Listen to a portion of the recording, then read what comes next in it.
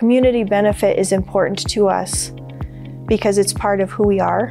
It's part of the work that the sisters did before us. And our partnership with the MAC program and the Day Center allows people to stay out of the emergency department to get care that is more economically feasible and timely for them. What we're using in Mesa County as our MAC agency, it is a multi-agency collaboration to support community-wide case management for our most vulnerable familiar face client in the community. The goal is to reduce recidivism in our high acuity programming. Um, so that's with hospitals, detentions, law enforcement. If a client is, is starving and they're houseless um, and they're scared, they are not going to take the time to work on their mental health. They're not going to take the time to work on their physical health. I went to hospital for a whole bunch of reasons, mental health mostly.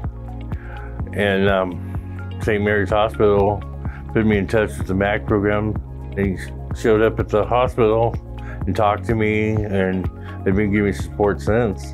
Not only do we get to help clients uh, in their case management needs, but we also get to meet their needs in the immediate moment. It takes away all the bureaucracy. And we start to reframe how they see themselves, how they see the community, and then how they see their role within the community.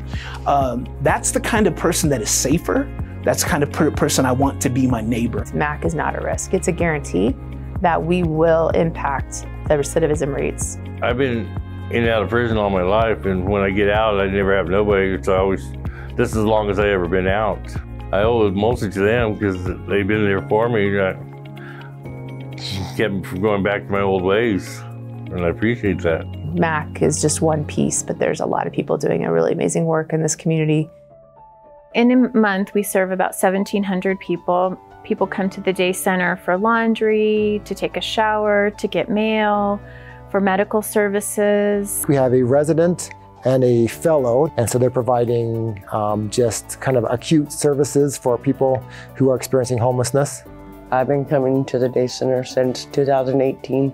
They listen to you and they are sympathetic to our well-being and they want to make sure that we're safe and we have everything that we need medical wise. Every time I have come in here, the doctors are, are compassionate and they're really wanting to know how, how you are as a person. We're able to meet their need, um, their acute need right there that same day, in that same moment, and we help them to get connected to the broader community. I see the difference it makes in people's lives when they have someone that they can trust and that they can come to come and see every week. Place you can count on. You, you, I, there's never been a time that I came here that I was turned away. This place has been a lifesaver. I wouldn't be here today if it wasn't for the day center. I'd probably be dead.